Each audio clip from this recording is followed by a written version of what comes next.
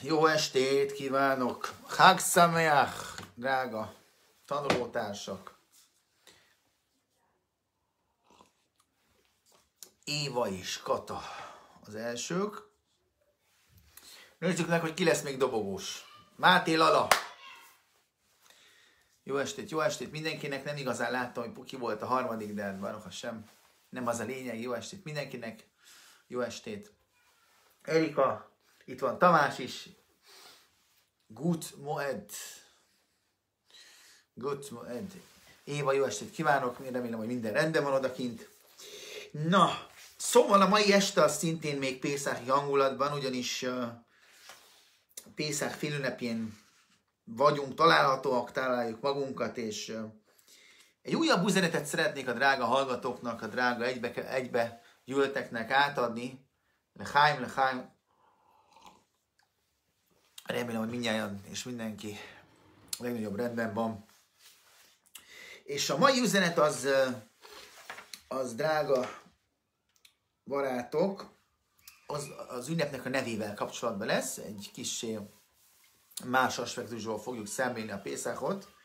Nem úgy, mint a múltkor, illetve két nappal ezelőtt. Most egy teljesen más szemszögből fogjuk megvizsgálni az ünnepnek az eredetét, illetve fogunk egy kicsit játszani a szavakkal, eljátszani a szavakkal. De miről is van szó? Ugye, ha megnézzük az imakönyvet, ha felütjük az imakönyvünket, akkor a Pészáknak ugye több neve is van. Ugye azt mondjuk, hogy Haga Pesach, Haga Matzot, Haga Viv, ez a Tórában van ugye a, a, a, a, a Macesz ünnepe, a tavasz ünnepe, és van egy olyan neve, ahogy szokták hívni, Zman Héroszénu, Zman Héruténu.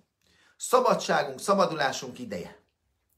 És a kérdés az az, hogy miért pont ezt a nevet, illetve miért pont ez az egyik neve a Pészáknak. Csak egy kicsit gondoljunk bele. Ugye már eleve furcsának tűnhet ez a kifejezés, mert amikor belegondolunk abba, hogy tulajdonképpen Pészáktól kezdve le, e, mi történt a zsidó néppel, akkor az biztos, hogy mindenre gondolhatnánk, és sok mindenre is gondolnánk, de arra biztosan nem, jó estét Kata, Katalin, arra biztosan nem gondolnánk, hogy akkor lettünk igazán szabadok. Illetve hát, ha, bele, ha megnézzük, akkor részben szabadok lettünk, viszont részben viszont nem. Ugyanis honnan vonultunk ki, honnan vezetett ki minket a teremtő kinyú, erős kézzel és kinyújtott karral? Egyiptom országából, tehát egyrészt valamilyen szinten fizikálisan talán tényleg szabadokká lettünk, ám annyi bizonyos, hogy mivel, hogy elkezdtünk szépen lassan gyalogolni a sínai hegy felé, ahol a tórát később megkaptuk, onnantól kezdve egész biztos, hogy nem voltunk szabadok, sőt, mi több, akkortól vettük magukra, akkor volt már ugye a reveláció a tórának, ha kinyilván az örökkéval akkor nyilvánította ki a tórát, de mindennek a kezdete akkor volt, amikor az Isten megjövendölte azt, illetve azt mondta nekünk Egyiptomban, hogy most menjetek, hagyjátok el Egyiptomot, és legyetek nék, sílő, Mamleches Koanim Amka Dajs, hogy legyetek nekem a papok népe, a kiválasztott nép, a szent név, aki, a, aki a Tórának a micváit fogja művelni. Szóval a kérdés az az, hogy ez a név, ez egy kis pontatlannak tűnhetne a drága tanulók szemében, de is nézzük meg, hogy a bölcségnek valóban csak valamilyen frajdi elszólása volt ez, vagy ha igen, vagy ha nem, akkor mire, mi a fundamentum, mire alapozzák ezt a, ezt a nevét a, az ünnepnek. Ugye azt mondjuk, hogy Chagacherut, a szabadulás, a szabadság ünnepe. Ugye nézzük meg egy, egy, egy, egy, egy napot. Nézzük meg például egy, egy hídgyakor, egy olyan embernek a napját, aki mondjuk tartja a vallását, vallásos, és nézzük meg azt, hogy tulajdonképpen miből is telik az ő napja, hogy ő nála hol van szabadság, hol van, mikor beszélhetünk szabadságról. Nagyon érdekes, hogy a, pont a múltkor beszélgettem valakivel erről, hogy a zsidóságban hol van ez a, van egy szabadságérzet, hogyha néz, hogy valaki azt kérdezte, hogy hogy lehet úgy zsinagógát vezetni, vagy rabbinak lenni, vagy közösséget vezetni, az embernek nincs egy szabad pillanata. Ugye? Mindig hívnak, mindig keresnek, ez van, az van, ezt osztjuk, azt osztjuk, itt imádkozunk, ott imádkozunk, nincs szombat, nincs vasárnap, nincs hétfő, nincs szabadnap. És a kérdés az az, hogy ugye ez nem kell közösségi vezetőnek lenni, de hogyha valakinek megnézzük, hogy valaki, aki gyakorolja a vallását, megnézzük azt, hogy tulajdonképpen hol is van az ő, az ő, az ő életében egy szabad pillanat, akkor rá fogunk jönni, hogy egy olyan szabad pillanat lehet, hogy van, de nem egészen úgy szabad pillanat, ahogy mi azt elképzeljük. Nézzük meg, valaki fel kell. Mi az első és az egyik legfontosabb dolog rögtön a nap kezdetekor? Jó estét, Nóra! Mi az első és a legfontosabb dolog a nap kezdetekor? Elrecitálni a modernit. Míg az ember épp, hogy kis, még ki se nyitotta a szemeit, még le se nyitotta a kis kacsóját, ugye kora reggel, kora reggel, kicsit később, az első dolog, hogy el kell recitálnunk, elszokásunk, szoktuk elmondani a modern imát. Tulajdonképpen hálát adunk a teremtőnek, teremtőnek azért, hogy visszaadta belénk a lelkünket, és ezért nagyon megbízhatónak könyveljük el a teremtőt, és ez az első mondat, ami elhagyja a szánkat minden hajnalasat, akkor kora reggel, később, ki mikor kell. Még mielőtt a fele barátunknak, a feleségünknek, a gyermekünknek ugye jó reggelt mondanánk, az első az, hogy a jó Istennek megköszönjük, ugye az, hogy a lelkünket visszaadta belénk, és ezért az ő megbízhatóságát ugye köszönjük meg. Nagyon érdekes dolog, miről van szó amúgy, hogy a modálni, csak nagyon röviden, aki nem tudná, a az az ima, ahol tulajdonképpen ugye a Talmud azt mondja, hogy amikor az ember elmegy aludni, akkor egy, egy kis halál következik be az ő életébe, eléggé, eléggé durva ilyet hallani, de hát a Talmud tényleg ezt írja, mi történik? Ugye a lelkünknek egy része, egy 60 része felszáll a teremtőhöz, és egy lelki, egy kisebb fajta cseréről van szó, egy kis, hogy mondják ezt, egy kis friss, friss vért pumpálunk az erejünkbe, és akkor valaki fel kell kora reggel, akkor onnantól kezdve tényleg egy új teremtménynek számít. Ez egy érdekes dolog, hogy nálunk nem csak egy évben van, ugye hogy valakinek új lappal indul, hanem minden reggel az ember tiszta és új lappal indul. Jó estét mindenkinek, jó estét, Nóri. És a kérdés az az, a kérdés az az, hogy amikor valaki elmondja modernit, akkor onnantól kezdve letudta az aznapi zsidóságát. Hát nem, miért? Mert megyünk tovább, akkor rögtön az emberek az első dolga, a második dolga az kell, hogy legyen, hogy ugye utána később imádkozzon. Mielőtt valaki enni szeretne, előbb előtte szokás imádkozni. Sőt, mielőtt komolyabb munkába kezdünk, előtte mindenféleképpen az ember el kell, hogy mondja a mindennapos reggeli imáját, mert a haláha, a vallások megkívánja tőlünk azt, hogy tulajdonképpen csak akkor, csak akkor dolgozzunk, illetve akkor fogjunk munkába, hogyha valaki már e, leimádkozott, vagy megimádkozott, vagy imádkozott. Ugye? Ez az, aztán menjünk tovább. Ugye utána elkezdünk enni a pássachris. Pássachris az azt jelenti, hogy az ember reggeli kenyeret elfogyasztja. Na jó, fognám, gondoltam, hogy fogok, veszek egy vekni kenyeret, levágom, levágom vele szerettel, ezt beleteszem, megsózom, ráteszek ezt, azt nem azt elkezdem venni. De utána, illetve egész pontosan előtte és utána is vannak áldások. Sőt, mi több, az asztali áldás az az egyik leghosszabb ima, sőt a legfontosabb imánk is, amiről tudunk. Ugye egyrészt azért, jó estét László, jó estét, jó estét, szervusz. Egyrészt azért, mert ugye valóban az, első, az egyetlen tóra eredetű imánk, Másrészt azért, mert egy jó hosszú ima. Oké, akkor megint nem vagyunk szabadok, aztán menjünk tovább, menjünk a munkába. Munkában az ember nem csinál azt, amit akar. Figyelni kell arra, hogy másokat ne csapja be. Jó, mondjuk ez nem kell vallásosnak lenni.